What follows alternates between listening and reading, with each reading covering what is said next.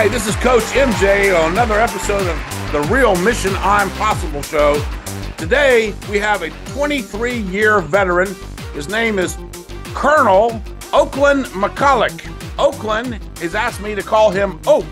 So we will be doing that during the episode with the occasional colonel for reference of his rank. He is now retired, though. He's going to tell us a little bit about what he's been up to.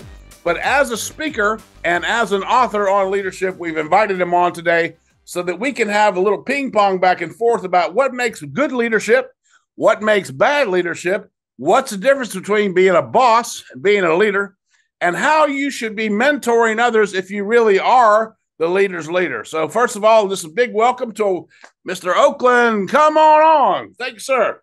Yeah, well, thanks for having me on your show, MJ. Yes, sir. We're really delighted. Uh, we had a little pre uh, show conversation. I got to know you a little bit about where you were moving around, and I want to get right into it. Uh, did leadership uh, training come to you from the United States Army, or did you bring some skills into your rank?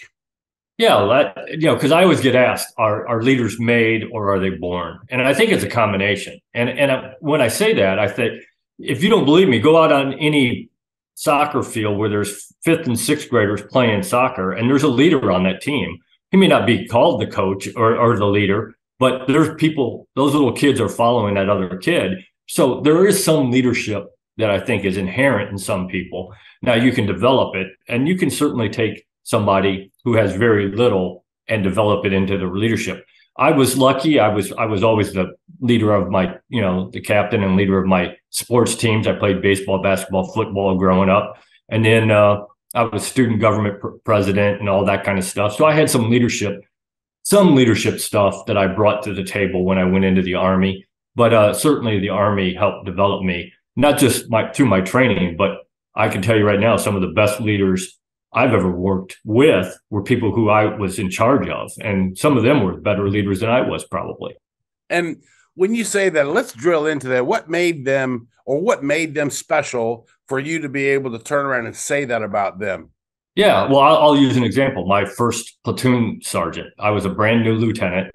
I was a platoon leader, and I I took over the platoon while they were out. I came in and and uh, and while they were out on a practicing for a dismounted live fire range uh, exercise, I came in and, and I came at lunch, and they had already gone through most of the training that morning.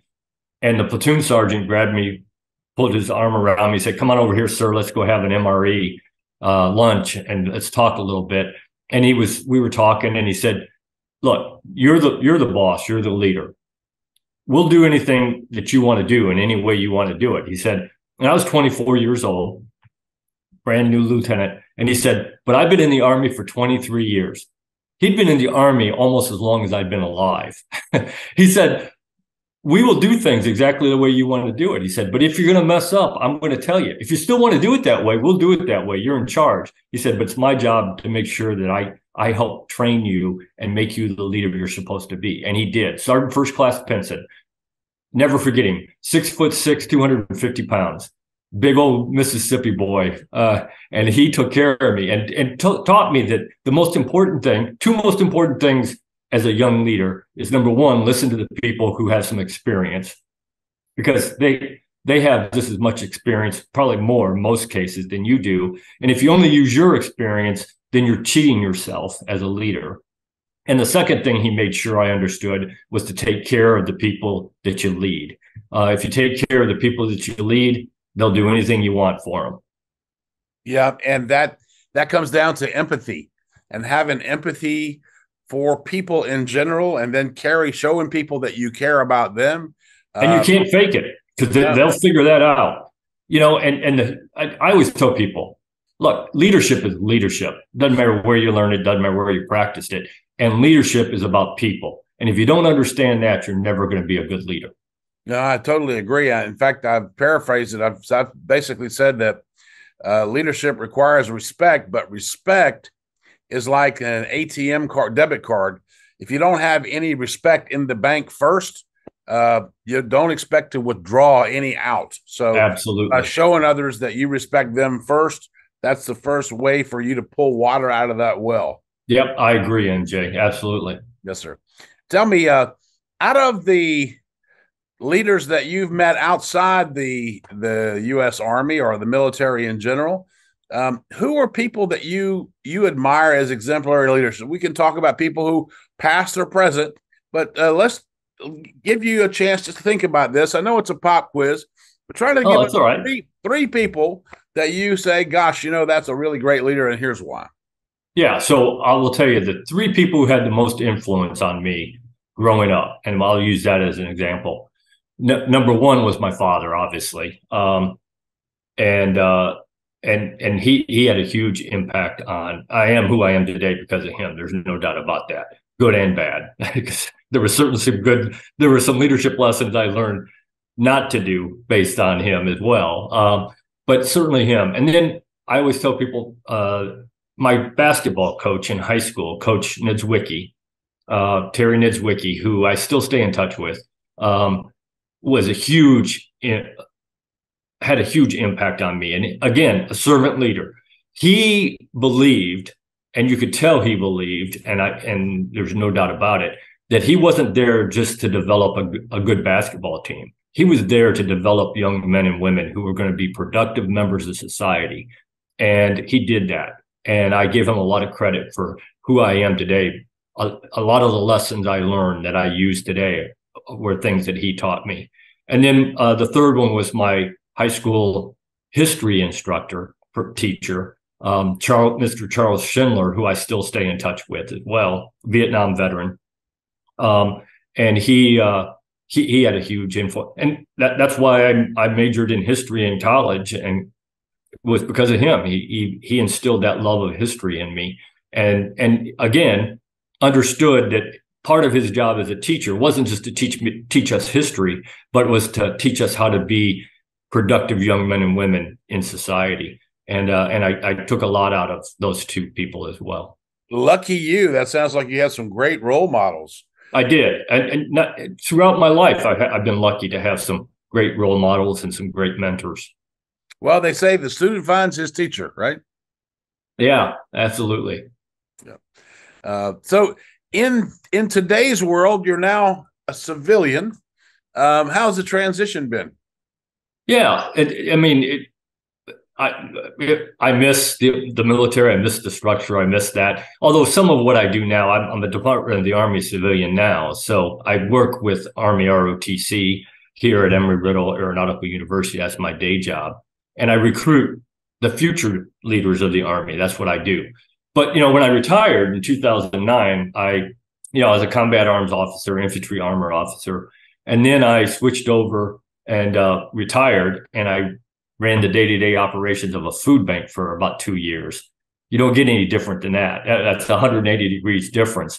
That was a struggle. That really was. Uh, just just to figure out the civilian piece of leadership again, leadership is leadership. You got to tweak things a little bit, how you say things, how you do things, but the principles are the same as far as I'm concerned. If a good leader is a good leader, um, but it was it was a little more difficult. And I'll give you an example. You know, motivating people, and that's a huge job of a leader is to motivate their people. And in the army, it was always easy. We support and defend the Constitution of the United States. We defend the American way of life. No problems def- uh, getting my soldiers motivated you know what that didn't work at the food bank so so yeah i took it took me a little while to figure out what it was that really motivated them and he, here's how it happened we were doing a planning meeting it was all i had all of my subordinate leaders in there and and we're doing this meeting trying to figure out how we were going to do a food handout in about three weeks and it was the largest food out, handout we do we did while i was there um, and about four o'clock, I see people looking at their watch and putting stuff away. And I'm like, what are you doing? And they said, well, it's time to go home. It's four o'clock. And I said, but we're not done. And they said, but it's four o'clock. And I said, okay, go ahead and leave. Anybody wants to leave can leave. I said, but before you leave, let's make one thing clear. Three weeks from now, when we are at this food handout and some 19 year old young lady goes home and can't feed her two year old daughter because we didn't get this right, it's your fault. How many people you think left? Zero. Figured it out. They really were there to help people in the community. Now that sounds obvious, but it didn't wasn't obvious to me when I first got there. But then it became very obvious. That's why they were there. Not only the people who work there, but the people who volunteer there.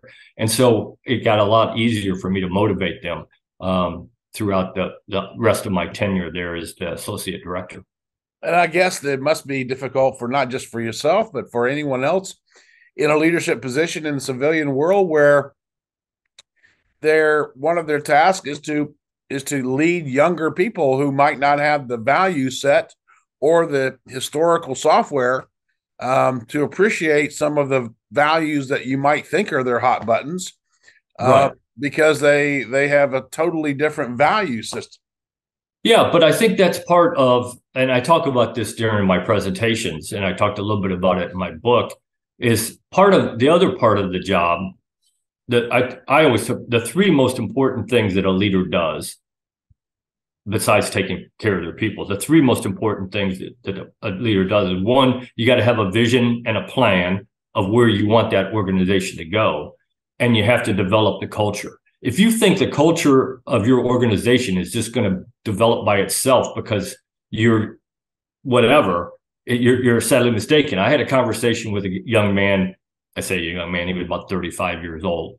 so I had a conversation with him about, I don't know, about three, four months ago. And we are and he just started a business and he's hiring people. And I said, and I was talking to him about the importance of building this culture of his organization. And he said, you're, and I said, it takes training and time and effort. And, and, and he said, you're wrong. And I said, what? He said, you're wrong. I said, then how am I wrong? He said, I just got to hire the right people. I said, good luck with that, young man. Tell me how that works out for you. Yeah. So there are lessons to be learned on all dimensions of this spectrum of leadership. Um, I had several organizations I had in the in the private life as an entrepreneur, and had different uh, positions, managers, directors, etc. One of the offices that I had gone to just to have a little quick tour and see how everybody was going. Uh, oh, I walked in and I said, "By the way, where's this?" Oh, well, um, that uh, that girl would know uh, where that is. Who's that girl? Oh, she's new, but she knows where everything is, and she she knows what everybody's doing. And I said, "Well, let's come and meet this this person." So she was their leader. Yeah, didn't have a didn't have a business card, didn't have a title, didn't have a position didn't have anything, but what she did have was a keen interest in seeing that everybody was happy. How about yeah. that? And and and be and being successful. You know, in the real world, results matter. In, in fantasy land, you know, where everybody's a winner and everybody gets a trophy, okay, I guess results don't matter. But in the real world, results matter. And it, those are the people who rise to the top. Those are the people who whether they have a title or not, because you don't have to have a title to be a leader. Obviously, that young lady didn't. You people follow you if you are motivated, if you take care of people, if you are interested in getting results, then people will follow you. Yeah.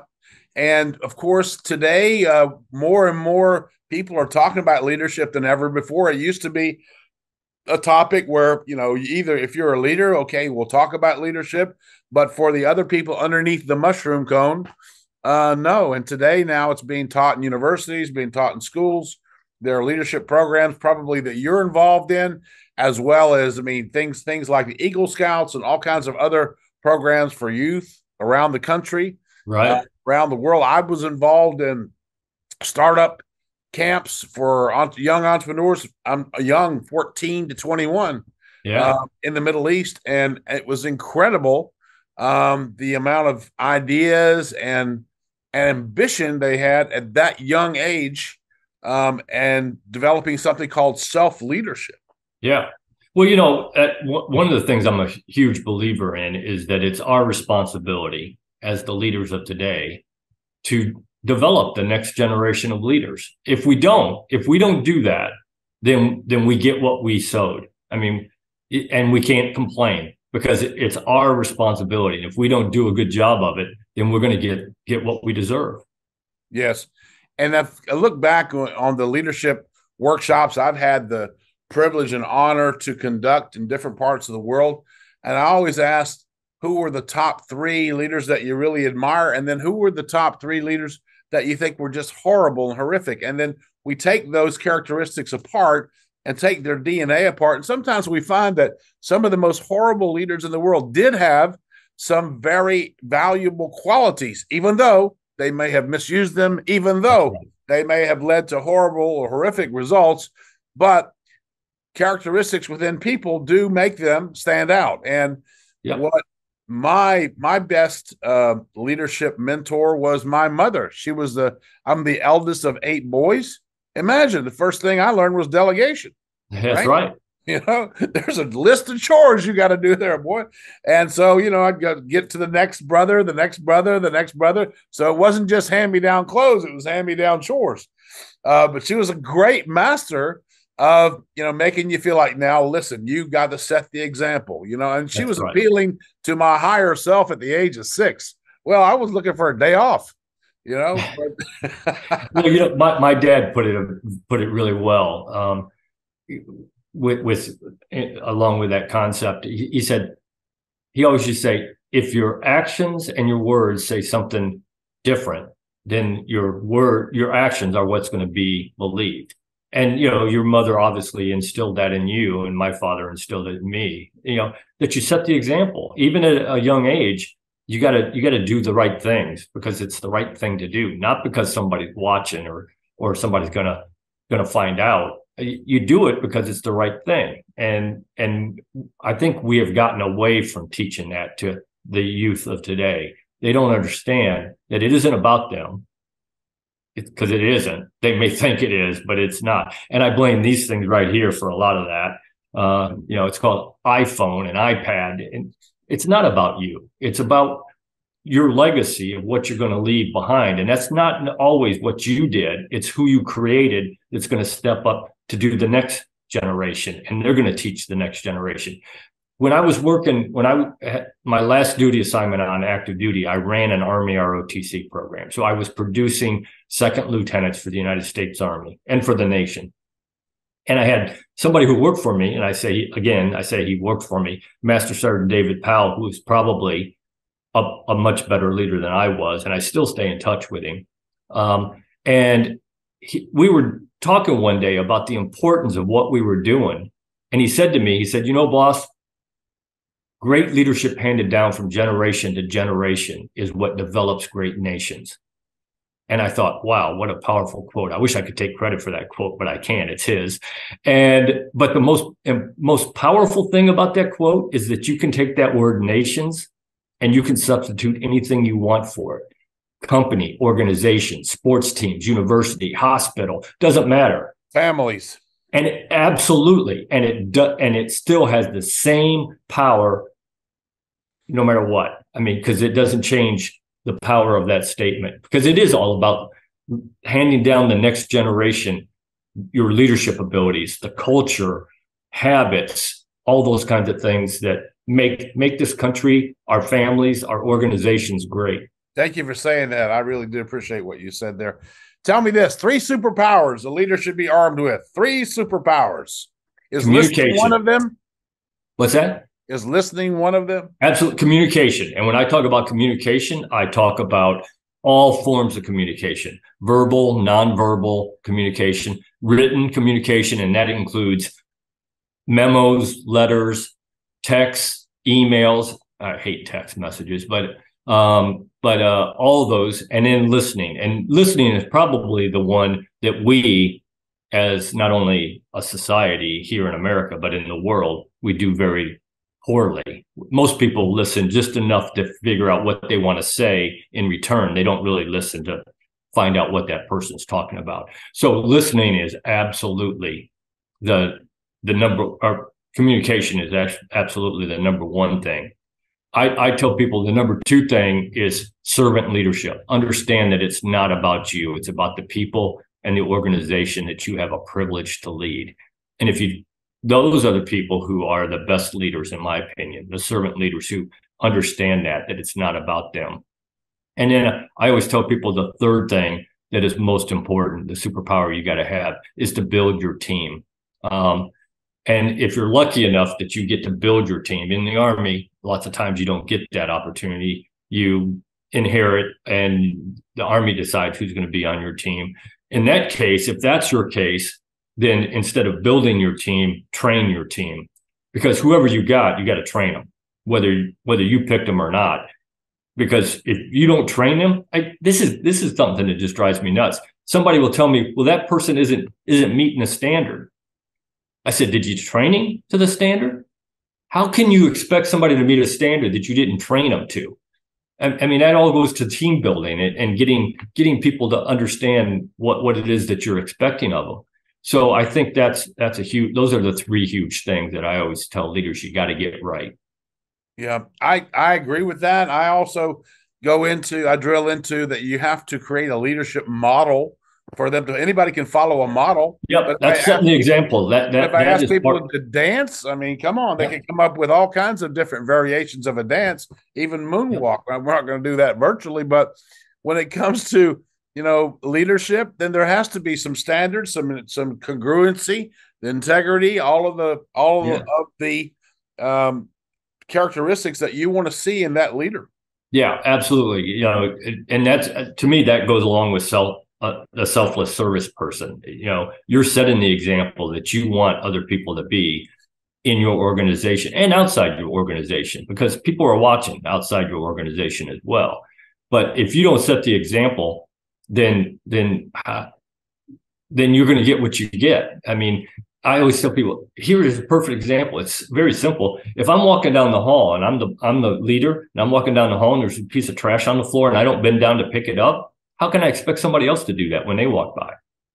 It, it's all about setting setting the example, and you're and you are the leader 24 hours a day, seven days a week, 365 days a year. You got to set the example all the time. When you get out of your car as a civilian, you go into a grocery store. Somebody is discourteous. They bump into you, or they take a cart before you. They just don't show you any respect or politeness. Do you ever have one of those moments? Do you know who I am? Do you have, or does that ever go into your head? Have you? No, ever- it really, it really doesn't go into my head. But, but I do, I do say if somebody does something, I will mention something. I'll either say have good day or something just to get because that's what another thing that drives me nuts is when people walk by you and, and they don't just ignore you. You know, uh, again, we're all all part of a human race here. Let's put the, put our phones down and let's actually talk to each other and uh, treat each other with the respect that that people deserve. Yeah. But of course, you know, in the military, they see you walking with your insignia and you're obviously going to get that instant respect and that instant salute. In civilian life, um, I guess I'm not really asking about what was it like to transition into that. You know, I was, it was like that yesterday, today, completely different. It had to have some, yeah, some feathers ruffled. Come on. It, it did. Uh, there were a couple of times when it did. Absolutely. But, but, you know, I, I always go back to, to the, to the quote that Michael Jordan gave. You, you have to earn your respect and leadership every day. So no matter what you did yesterday and who you were yesterday, today is a different day and you got to earn it today just like you did yesterday. And and I do and I and I say earn because although, you know, as a lieutenant colonel, you're right. I'm going to get a salute. People are going to do what I told told them to do because I'm a lieutenant colonel. But I always tell people, I my goal was always to have people want to do the things I asked them to do, not because I was a lieutenant colonel and because I was telling them to do it, but because they wanted to do it. And one of the ways I always tried to do that was every opportunity I had, if I had the time, if we had a, a task, a mission, uh, a problem we had to solve, I'd call all my junior leaders in and I'd say, okay, guys, gals, this is what we got to do. Give me some ideas and so they'd throw out ideas, and some of them were awful, some of them were great. And you know, the thing I, that always I always tell young leaders is when you do that, somebody you think is a superstar in your organization is going to give you a horrible idea, and somebody who's going to give you that you think is your weakest link in your organization is going to give you a great idea. And I had a boss who used to tell me, Oak, a great idea is a great idea, whether it comes from a private or a general. And a bad idea is a bad idea, whether it comes from a private or a general. But when you do that, when you throw it out there, you're under no obligation to use any of their ideas. But at least you ask. So they at least appreciate that point of it. But what I found out I generally do is I'll take a little bit of that person's ideas, a little bit of that person's ideas, and throw in some of mine. And that becomes our solution. What you do when you do that is you do two things. Number one, people feel like they're a part of the team, that you're not just the boss, but you include them and they're part of a valued member of the team. And number two, it's no longer Colonel McCulloch's idea or solution. It's all of our solution. Now they got skin in the game. Now if they really want to do what it is that we've decided that we're going to do. Now, once that decision's made, now now we're doing what's the decision was made, obviously. But but if you can give people a chance to have some some input in the decision making process when you can, then I think you, you'll find some amazing things will happen. Absolutely. We call that giving them ownership. So when they have Absolutely. ownership, they have buy-in. When they have buy-in, then they're motivated to execute and make it work.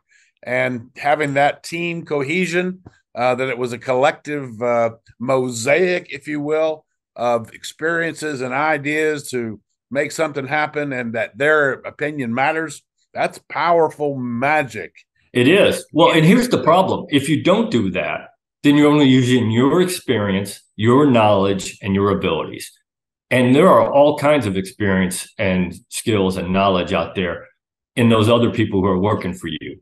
And if you don't use them, you're cheating yourself and your organization of those that knowledge and that skills and those abilities. Yes, is what is the adage? Uh, when you speak, you only repeat something you already know. Yep. Yes, sir. Tell us about your speaking uh, business now. Your COVID has passed. The damn demic is gone, thank thankfully. And yes, moving on, you're starting to meet some audiences. I saw you got a big event coming up in January. I think is in Texas. Is that right? Yeah, I'm going to be in Frisco, Texas, uh, talking to about a thousand first responders, policemen, firemen, EMTs. Um, really looking forward to that. That should be an exciting event.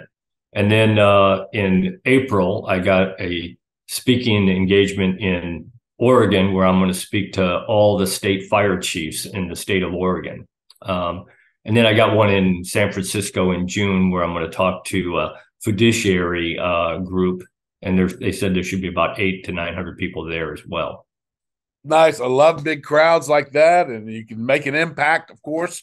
It's yeah. kind of like, you know, for a speaker, it's kind of like you have a candle or a torch, you're going to take it into a room and light their candle. So yeah, I, I agree. All I, those candelabras of inspiration out into the world. That's wonderful. Yeah, you know, at this point in my life, that really is my passion, just to talk to as many people as I can about about leadership, and and try try like I said, you know, try to pass on some of that knowledge that I've had over my last forty years as a leader, and and and hopefully, and I I always do because I always I, I don't just go and talk my speech and leave. I, I like to be in breakout sessions. I like to have dinner with the, some of the people, and I like to get their knowledge. Because again, if you ever think that you can't learn anything else as a leader, go do something else because you're not going to be a good one for very long if that's your attitude.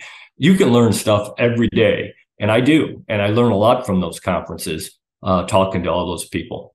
Yeah, and plus, there's all kinds of fast track leadership camps that people can go to. You might be part of something like that. How would how would our guests reach out to you? And can you first of all can I just ask you to uh, your your book is called Leadership Legacy, is that right? Yeah, your leadership legacy, becoming the leader you were meant to be. Okay. And if they wanted to reach out to you for a speaking opportunity, where would they go? Yeah, so uh, my website, uh, www.ltc and it is uh, on there. It has uh, my cell phone number, my email address, and the topics that I talk about. I talk about mainly two topics leadership and secrets to success. And then, uh, but I also talk about some history. I, I, I am a history major with a ma- master's in history. So I talk about some history subjects uh, as well. Um, but yeah, if you want me to come speak at one of your your events, a, a, training event. I was just at a company in Baton Rouge, and it was uh, a, a leadership. It was a training uh, event, um, and so I, I, gave my secrets to success on at that uh, for that event, and uh, and it, it, wasn't about leadership. It was about training, and it was about scenario driven uh, training to see how you would react and those kinds of things. So I, I'm available for any of that. Awesome. Well, it was wonderful to have you as our guest the first time. I will be asking you to come back when we do our leadership panel later on in the year in 2023. I would love to. Um, you're definitely on the board of leadership here at the Real Mission Impossible show. It was a great pleasure having you on, and we'll be putting the links for people to get in touch with you, although you did recite it. Uh, and I do appreciate everything. Thank you so much. Uh, Colonel Oakland McCulloch has been with us here today, 20 some odd years of service in the United States Army and beyond. His leadership book is going to be in the links there. Look out for him in stages across America.